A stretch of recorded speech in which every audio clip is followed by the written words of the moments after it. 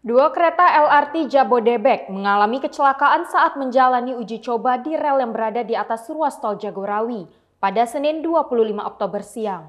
Hingga saat ini, PT Inka selaku pengelola kereta LRT masih melakukan investigasi lebih lanjut penyebab kecelakaan kereta yang diklaim dapat beroperasi tanpa masinis. Dua kereta layang ringan LRT bernomor 20 dan 29 mengalami kecelakaan di rel yang berada di atas ruas tol Jagorawi saat menjalani uji coba. Di rut PT Inka, Budi Noviantoro mengatakan, tabrakan antara dua rangkaian kereta ini diduga terjadi akibat kelalaian manusia.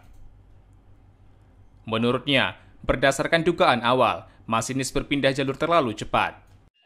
Pada saat transit 29 dari Ciracas itu mau bergabung ke arah Mukti, terjadi tumburan ya ini terindikasi ya nanti KNKT yang menentukan terindikasi adalah langsiran yang terlalu cepat.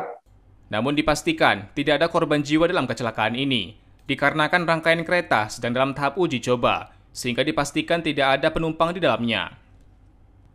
Satu masinis LRT mengalami luka ringan dan telah mendapatkan penanganan.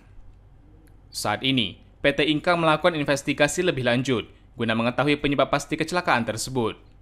Hingga saat ini, LRT yang mengalami kecelakaan di kilometer 12 Tol Jagorawi masih ditutupi terpal. Berdasarkan keterangan pers dari Budi Noviantoro, kedua rangkaian kereta yang mengalami kecelakaan akan dibawa ke PT Inka untuk diperbaiki. Dari Jakarta, Kantor Berita Antara, UTV mengabarkan.